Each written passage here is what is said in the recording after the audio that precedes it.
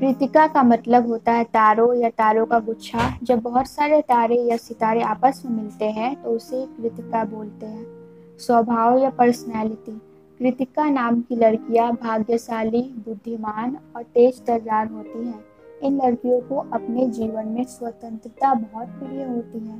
कृतिका नाम की लड़कियाँ मेहनत करके हर काम को आसान बनाने की हिम्मत रखती हैं। कृतिका नाम की महिलाओं में धैर्य की कमी होती है और कभी कभी ये जल्दबाजी में फैसला कर लेती है, जिनसे कि इन्हें बचना चाहिए। ये हमेशा ऐसा काम चुनती है जो इन्हें व्यस्त रखे और नए नए लोगों से मिलने का मौका दे। इनकी राशि मिथुन है, जिसका स्वामी ग्रह बुध होता है। भाग्यशाली रंग इनका पीला और हरा है। भाग्यशाली दिन बुधवार और शुक्रवार है। Thank you very much for watching